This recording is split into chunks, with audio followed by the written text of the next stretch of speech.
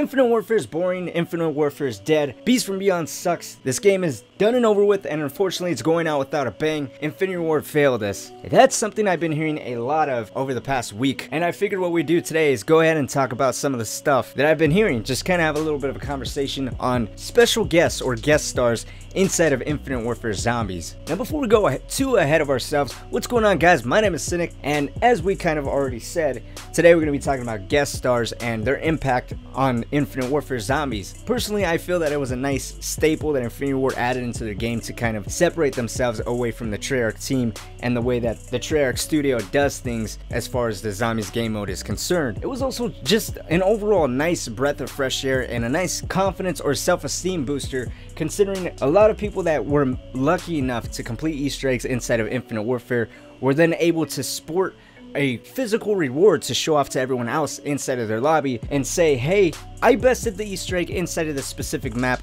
and this is my reward for all of my hard work. And from the start, I was a huge fan of it. At first, I was a little skeptical, like, oh shit, you have to complete an actual Easter egg in order to play as a secret or guest character. But slowly, as Rave in the Redwoods and Shaolin Shuffle came out, I opened up to the idea and I personally liked it because, like I said, it was a nice staple to separate themselves away from Treyarch. And it was also a great incentive to motivate players to try to knock out the Easter egg for that specific specific map so that way they can play as a new character and hear new dialogue and see new animations and it wouldn't be the same thing over and over again. It also just spiced up the gameplay. Even if it was just from a dialogue and small animation perspective, it was enough to keep people engaged a little longer. Now the Beast from Beyond, there seems to be a catch-22 here where there's no guest star to have that same incentive the other maps have to be able to play as someone different, but if you do have other easter eggs out of the way, Beast from Beyond rewards you with so much more, specifically Director's Cut, and if you go the extra mile and complete the super easter egg, Willard Wyler inside of Spaceland. So speaking a little freely here, as far as expectations go, I can say that Beast from Beyond is a little disappointing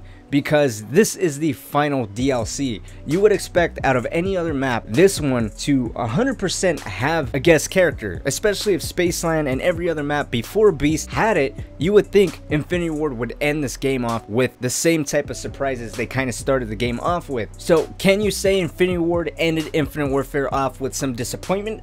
Yes. Can you say they ended it off without a bang? I don't think so. I think that's a little strong and kind of a punch in the face for Infinity Ward to be completely honest, as we did get extra stuff that no one was really expecting. For a long time, there was speculation on playing as Willard, so it's kind of cool that we have him, but as far as Director's Cut goes, I think no one was really expecting to have perma perks in every map. 25k from the start, double pack a punch available from the start, every weapon out of the wheel automatically packed once, I mean, on paper, all of this stuff sounds like overkill, but this was an amazing and just an overall hell of a reward for everyone who completed every single Easter egg inside of Infinite Warfare. Now, there is that small argument where if you don't have the season pass and you just manage to buy DLC 4, then technically you don't get anything for completing the Easter egg. Whereas with every other map, you do get an extra character. And as far as rewards go for Easter eggs, I think Shaolin Shuffle is probably the most rewarding, considering you not only get Pam Grier, which is a guest star, but you also get an amazing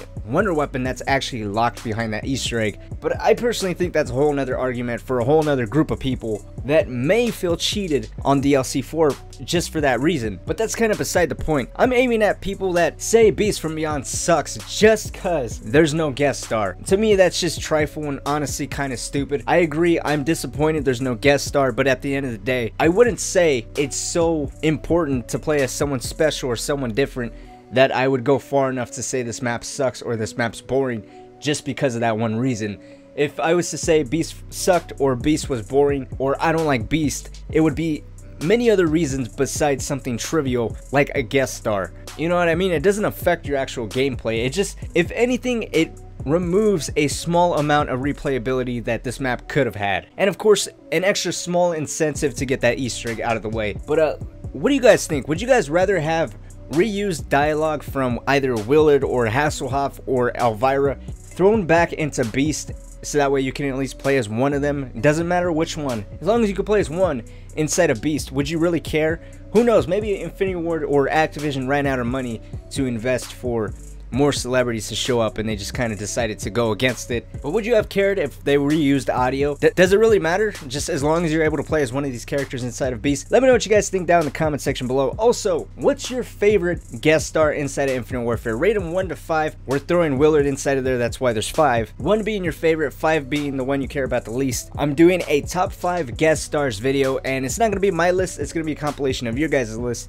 So write down your votes down in the comments section. My name is Cynic. Thank you guys so much for watching. Hopefully you guys did enjoy it. If you did, don't forget to drop a like as well as subscribe if you guys are brand new. Turn on those notifications so that way you guys never miss an upload or live stream. Anyways, until next time guys, I'll see you all later.